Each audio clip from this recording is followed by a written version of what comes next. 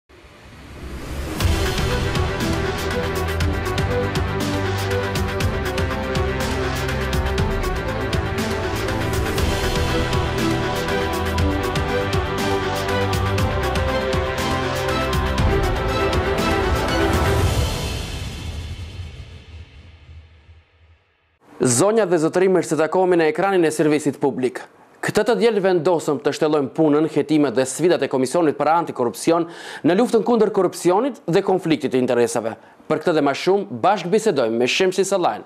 Mirë se takohemi dhe faleminderit që pranuat ftesën nëse nuk gaboj për herë të parë në TVM dy. Për herë të parë është. Faleminderit edhe juve. Çfarë bën Komisioni për Antikorrupsion? A pushojnë anëtarët e këtij komisioni gjatë stinës së verës apo jo?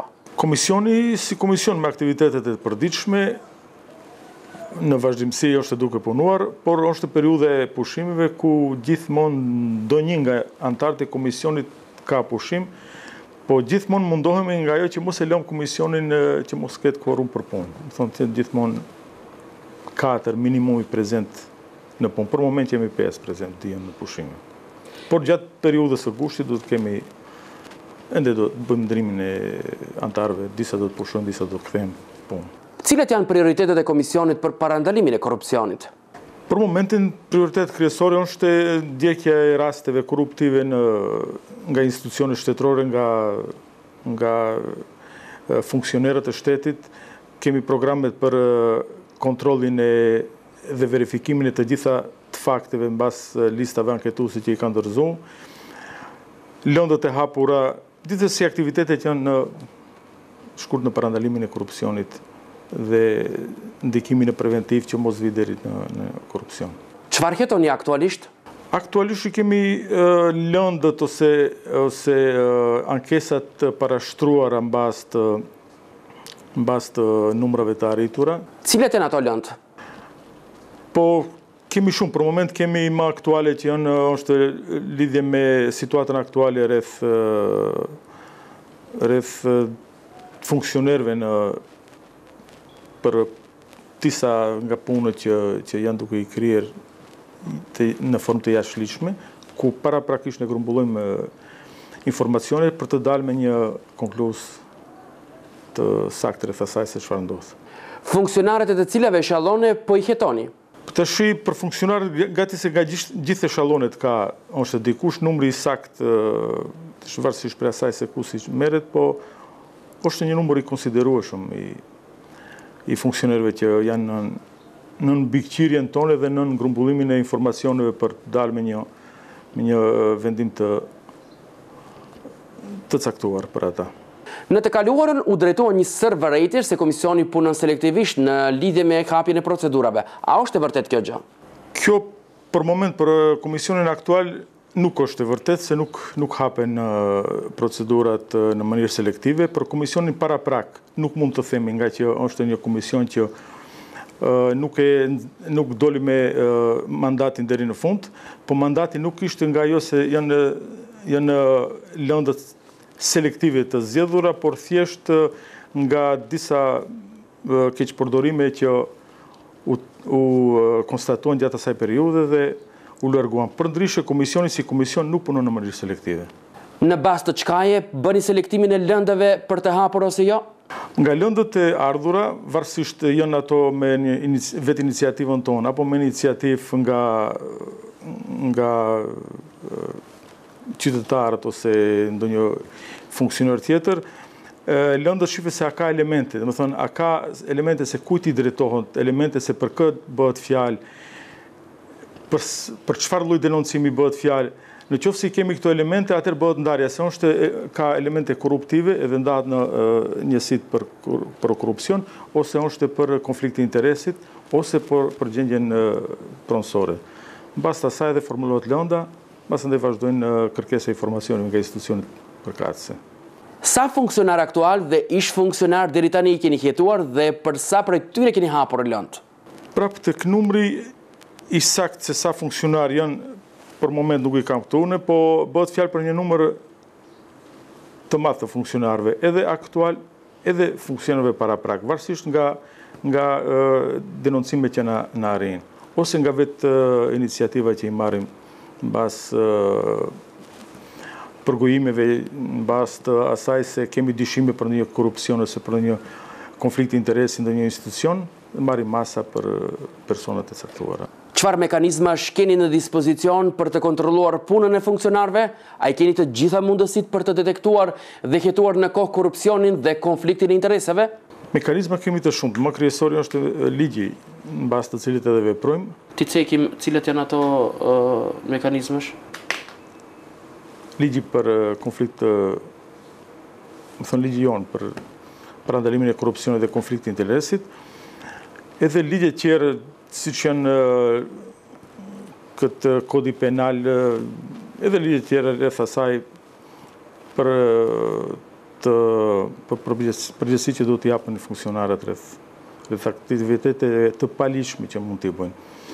Ne në hapjen e çdo lënde kemi Mbas hapjes së lëndës bëjmë grumbullimin e informacioneve që u parashtrohemi institucioneve përkatëse, ku ata kanë edhe obligim që mbrenda një afat caktuar prej 15 ditësh na përgjigjen.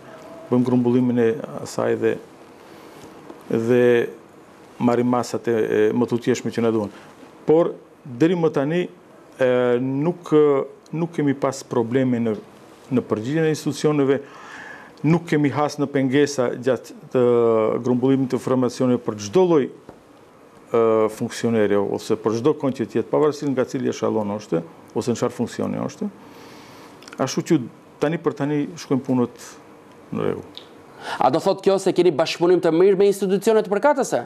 Bashkëpunimin e kemi shumë të mirë me institucionet përkatëse, deri më tani çdo institucion nga kërkesat që i kemi parashtruar për për informacionet ose materialet rreth procedurave të ndonjë lënde, na janë përgjigjur, na janë përgjigjur në kohë, ndërkohë kemi edhe memorandume për bashkëpunim, ku është bërë një nga ato është edhe memorandumi për kyçje në sistemin e, e, e ndjekjes së informacioneve me 50 institucione shtetërore që u bën nga qeveria disa kohë më herët.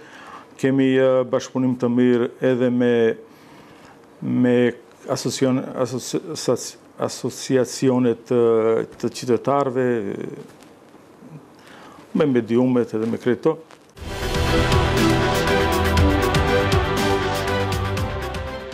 Deri ku jeni me hetimet në lidhje me Jovo Vangellovskin dhe Vladimir Pançevskin, ku ngecen hetimet për ta?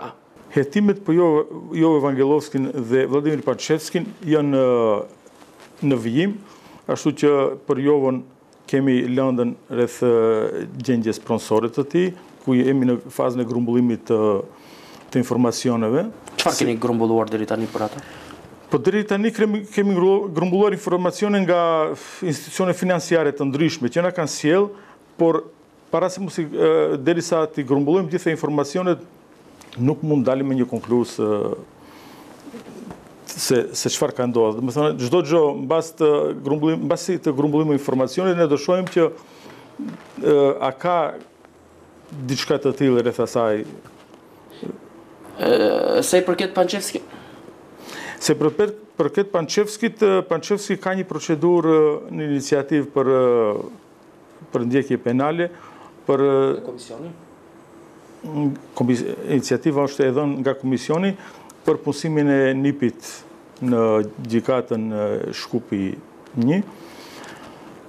Dhe procedurat tjera, dhe domethënë, aktualiteti që është më i madh te këta dy gjikatës, është ajo se në mbledhjet ose seancat gjyqësore që i mbajnë ato rreth shkarkimit ose përgjegjësisë së tyre janë në konflikt të interesit për shkak se një pjesë e madhe e numrit të gjykatësve kanë procedura nga nga Këshilli i Gjykatave së Maqedonisë për shkarkim. Ashtu që është një një ngërç i vënë në në këtë situatë dhe shpresojmë që Do të zgjidhet për një kohë të shkurtë. Çfarë u pengon aq shumë anëtarëve të këtij komisioni nëse kryeministri Zaev ka dëshirë të bëhet ministër i Financave? Anëtarëve të këtij komisioni dhe askujt nuk i pengon asgjë, po thjesht është në kundërshtim me ligjin për parandalim të korrupsionit dhe konflikt të interesit, ku një funksioner ose një person i zgjedhur nuk mund të kryejë dy funksione në njëjtën kohë. Ne kemi vetëm rekomandim Se është në konflikt të interesit dhe atë rekomandim Zaevi e ka vlerësu dhe është tërhequr nga nga pozicioni i ministrit të Financave. A jam gabim nëse them se ngadalë ec edhe procedura për grumbullimin e informacioneve adekuate në lidhje me Sekretarin Gjeneral të Qeverisë, Dragi Rashkovskin? Këtu nuk ka asgjë ngadalë nuk shkon. Ne si Komision nuk kemi hap lëndë direkte për Dragi Rashkovskin. për sekretarin gjeneral të qeverisë.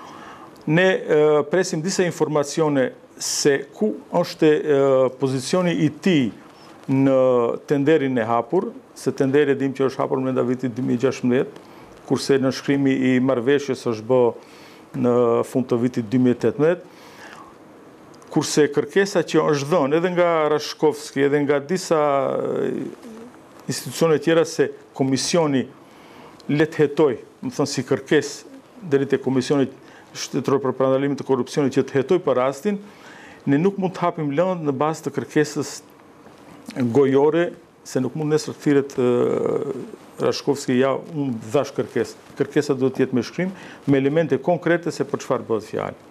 Kurse ne, mbasi të grumbullojmë disa informacione, do do do vendosim për hapjen e një. A morët informacionet e duhura nga Manafi? Tash për shkak të situatës së krijuar nuk hijmë në detaje derisa t'i grumbullojmë këto gjitha informacionet dhe të bëjmë analizën e tyre. Zotëri Sallaj, disa javë më parë, ju patët guxim dhe na informuat se do të hapni lëndë për të hetuar se si vepruan institucionet e shtetit në lidhje me aksidentin tragjik në Laskarcë. Çfarë dyshime keni dhe në cilën fazë është hetimi? Po, është e vërtetë që para disa javëve dhamë si si informacion se jemi në përpilimin e një lënde, brenda kohës lënda u përpiluar, është hap lënda dhe janë dërguar dërguar kërkesa për grumbullimin e informacioneve deri te institucionet. Bëhet fjalë për një lëndë nga të përfolurat se ka dyshime në ndikim të disa procedurave, procedurave në kuptimin e asaj të kryerjes së ekspertizave rreth ngjarjes së autobusit, rreth përpilimit të aktakuzës për persona të dyshuar, mirëpo në këto informacione jemi në grumbullimin e sipër të informacioneve, ashtu që nuk mund të japim më tepër informacione deri ku është rasti, çfarë kemi gjetur deri për shkak të mos bëjmë ndikim në procedurën gjyqësore rreth rreth rastit. Çfarë informacione jozyrtare keni në dispozicion dhe çfarë dëshironi të zbuloni në këtë rast? Si informacione nuk mund të japim paraprakisht, pa mos i grumbulluar këto informacione që dalim me një vendim konkret, por dyshimet në përgjithësi janë edhe shkohet arritja që duam të arrijmë për këtë rast është që të parandalojmë çdo lloj ndikimi në çdo lloj faze të hetimit të rastit që e drejta të dale në sipërfaqe tamam siç duhet edhe të përgjigjen njerëzit e duhur për këtë, që mos merret në qafë askush. Edhe mos ketë dyshime se është në ndikim të dikujt apo dikujt tjetër zgjedhja e, e problemit. A do të na tregoni se cili institucion ka bërë lëshime eventuale në aksidentin tragjik në Laskarcë? Për shkak të mospengimit në të procedurës gjyqësore, nuk do të lëshohemi të japim informacione se kush mund të ketë bërë lëshime dhe ka dhe në çfarë faze ka bërë lëshime, do të presim t'i grumbullojmë gjitha informacione që i kemi kërkuar dhe mësandej do dalim me një qëndrim. Nga ju kanë ardhur këto dyshime për këtë rast? Këto informacione, meqë jam si qytetar i asaj zone të Maqedonisë, ku ndodhi edhe aksidenti, ku janë edhe të dëmtuarit, edhe viktimat, por edhe të paditurit, ashtu që në në atë rreth gjithmonë përfolet se gjoja ka ndikime nga gjitha shtresat, nga gjitha anët për Për mos tregimin e saktë të procedurës dhe hetimit të procedurës rreth këtij rasti. Ashtu që duke u nis prej asaj që të kemi një situatë sa më të qartë që t'i hekëm t'i heqim dilemat nga njerëzit edhe nga nga qytetarët edhe të dëmtuarit por edhe familjarët e tyre po edhe nga opinioni i gjerë që rasti si rast hetohet drejt pa ndikimin e askërkujt për atë shkak dhe ne e hapëm si lëndë Edhe presim deri ku ku do shkojmë dhe sa do arrijmë me, me informacionet. Që të zbardhim edhe ne deri diku të vërtetën e kësaj se ku është. Por gjithsesi jemi gjithmonë në kujdes që mos ndikojmë ose mos pengojmë procedurën gjyqësore që është në në vijim.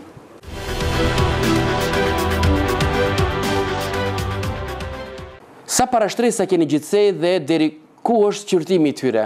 Parashtresa si numër i parashtresave, disa të dhëna që i kemi këtu, është dikundi mbi 800 parashtresa, ku për Parashtresat që kemi sjellë vendime ose që janë përfunduara ose të mbyllura si raste janë mbi dyqind.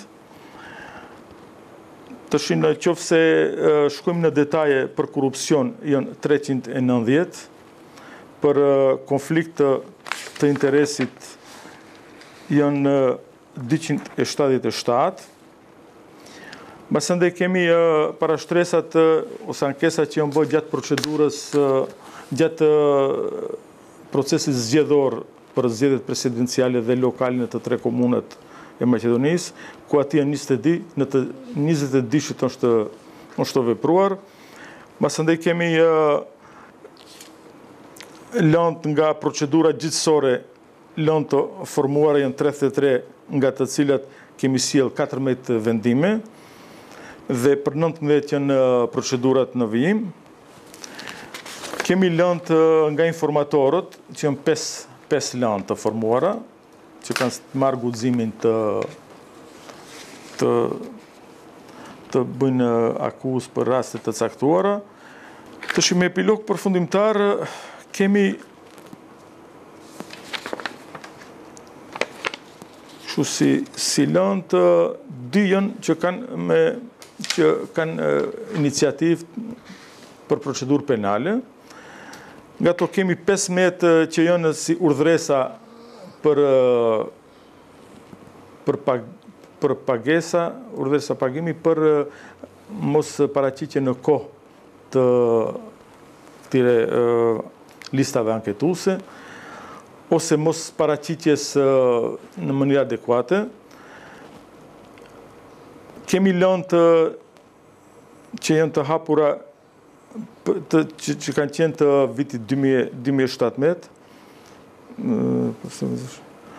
për, për mosparaqitjen e po ashtu fletës anketuese, se ne kemi edhe një program të krijuar një plan, program për të thënë për konfirmimin e të gjitha fletëparaqitjeve për interes dhe listës anketuese që i kanë paraqit se a i kanë të dhënat e sakta ose nuk i kanë në ato.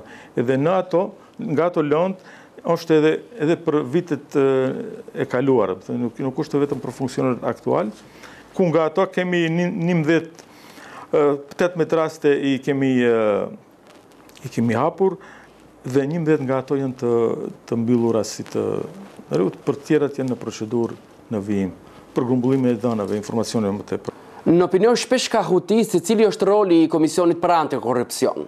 Po hutia në opinion ekziston, për shkak se nga Situata e kaluar që është krijuar në shtet nga situata e tashme nga pasiguria që është kriju tek qytetarët nga, nga humbja e integritetit të institucioneve, është kriju një, një një pasiguri tek qytetarët edhe me ardhjen e komisionit, me thënë me përbërjen e re të komisionit, sikur u hap një shpresë për rregullimin e sendeve. Edhe Përgjithësi qytetarët nga mosinformimi i mjaftueshëm mendojnë se ne çdo gjë mund ta zgjedhim deri në fund. Procedurat tona janë të hetojmë rastet korruptive ose konflikt interesi ose çfarëdo rasti që lidhet me ta, ku pas grumbullimit të asaj faza jonë e asaj është deri Tek konstatimi i një dyshimi të tillë, po jo se mund ta çojmë procedurën deri në fund. Ashtu që procedurat mas konstatimit të të dyshimit se ka konflikt interesi ose ka korrupsion, ne e parashtrojmë iniciativën për procedurë tek institucionet përkatëse, ose prokuroria, ose varësisht nga ajo se për çfarë bëhet fjalë. Përse mendoni se pikërisht kjo përbërje aktuale e këtij komisioni do ta luftojë korrupsionin? Me çfarë e meritoni këtë? Po, tash ne për vetvete mund të flasim fjalë miradije si çdokush, koha do të tregojë se sa jemi të tillë, por në formën se si jemi zgjedhur ne, do të thotë dhe forma se nuk ka pas ndikime partiake siç ka qenë më herët, themi më herët se prapë nuk kemi edhe të dhëna të sakta se ka pas ose s'ka pas, por më herët, mirëpo kjo qe shumë transparente zgjedhja jonë qe para kamerave, qe para publikut, ashtu që nuk u la dyshim se dikush mund të ketë ndikuar për na, ashtu që ne si komision, si anëtarë të komisionit, Jemi të vetëdijshëm për situatën ku e kemi, jemi njerëz që nuk kthihemi lehtë nga askush edhe nuk jemi, nuk mund të ndikojë askush tek na. Koha do të tregojë sa janë të vërteta këto gjëra. A do thotë kjo se anëtarët e këtij komisioni nuk kanë presionet nga dikush? Deri më tani, unë për vete mund të them se s'kam pas asnjë presion, por edhe nga biseda që i kemi me anëtarët tjerë edhe askush nuk ka theksu që ka pas ndonjë presion nga dikush për diçka deri më tani. A u mësuan funksionarët t'i dorëzojnë listat anketuese dhe deklaratat për konfliktin e interesave në kohë, apo ende ngecin? Po, funksionarët kohëve të fundit, domethënë nga përbërja e re që, që jemi zgjedhur, gjitha listat anketuese i dorëzojnë në kohë dhe në formën siç duhet. Paraprakisht ka disa lëshime që kanë qenë më herët, por edhe ato i kanë përmirësuar, i kanë dërguar për, për, për funksionerë që ka pas, ose për të zgjedhur dhe emruar që ka pasur dyshime, se nuk i kanë sjellë në kohë, se nuk i kanë pas të sjellura kemi ngrit procedurë për kundravajtje edhe një numër i tyre dhe bile edhe kanë bo pagesën e kundravajtjes që është caktuar. Kush më së shumti paraqet korrupsion këtu? Më së shumti janë nga qytetarët. Se qytetarët e ndjenë atë pasigurinë më të madhe, por kemi edhe nga partitë politike siç ka qenë rasti ku ishte me me konflikt interesi me punësime që ishin përpara fillimit kur u nisëm. Si qëndroni me informatorët që dëshirojnë t'ju ndihmojnë për të detektuar ndonjë rast korruptiv? Ne kemi ligjin për për mbrojtjen e informatorëve që është nën ingerencat tona, ne për atë kemi konkretisht në Komisionin për Parandalim të Korrupsionit kemi njësi të veçantë, kemi person të caktuar, i cili person i mban të dhënat në një shkallë të lartë të fshehtësisë, që mos dalin në sipërfaqe se kush çfarë ka bërë, edhe ai person komunikon direkt vetëm me kryetarin e Komisionit Antikorrupsion.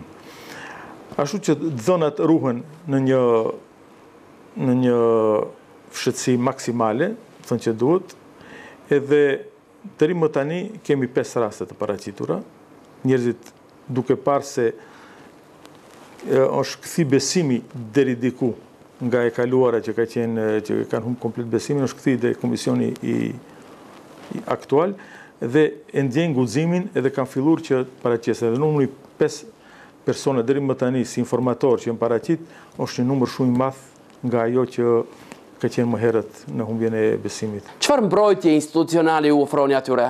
Mbrojtja institucionale Ne kemi marrë masa, domethënë duke caktuar personin e caktuar për, për, për grumbullimin e informacioneve dhe ruajtjen e tyre në, në fshehtësi derisa të bëhet të mbarojë procedura. Kurse në, në mbrojtje institucionale janë domethënë përveç komisionit komunal, është edhe prokuroria publike, është edhe avokati i popullit, janë Ministria e Punëve të Mbrendshme po gjithsesi edhe ka mbrojtje gjyqësore, nga, domethënë në qoftë se dikush nga këta institucione ose nga institucioni ku është paraqitur ku është paraqitur informatori me informacionet e fshehta mund të ngre padi deri në gjykatë e cila do vendosë për të caktuar një mbrojtje për atë person edhe për familjen e tij. A u gjet vend pajisjeve të reja të BE-së që duhet të lidhë ky komision me institucionet tjera? Po, vendin e kemi gjetë për grumbullimin e pajisjeve, edhe është dikundi këtu afër në qendër, pas Ministrisë së Punëve të Jashtme. Presim së shpejti të bëhet montimi i atyre dhe shpresojmë që brenda një muaj, një muaj e gjysmë do të jemi edhe Do jenë të montuara pajisjet dhe ne të shpërngurur. Atëherë si punoni ju aktualisht pa këto pajisje, apo gjithçka me shkrim u drejtoheni institucioneve? Po për moment gjithë institucioneve i drejtohemi me shkrim edhe informacionet i marrim gjithashtu me shkrim. Po a nuk i vështirëson dhe stërgjatë kjo gjë procedurat hetimore që keni ngritur?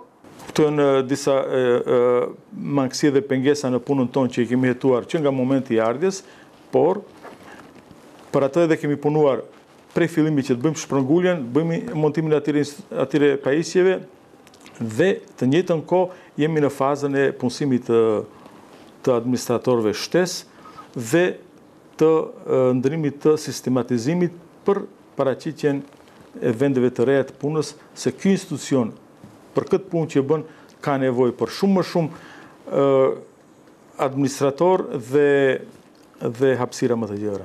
Për sa punësime keni nevojë aktualisht? Për moment, dikund rreth 10 punësime do të krijohen, po në bazë të analizës funksionale që e kemi, kemi duke realizuar dhe përpilimit të sistematizimit, do të caktojmë numërin e saktë të nevojave që i kemi deri. Unë kaq pyetje pata, nëse keni diçka për të shtuar e që nuk ju kam pytur, urdhroni. S'kam kurgjë për të shtuar, ju faleminderit për Për intervistën që erdhe ta bëni, edhe që këtij opinioni t'i tregojmë punën tonë dhe të vërtetat rreth neve. Zotëri Sardaj, faleminderit që ishit pjesë e intervistës javore në TVM dy.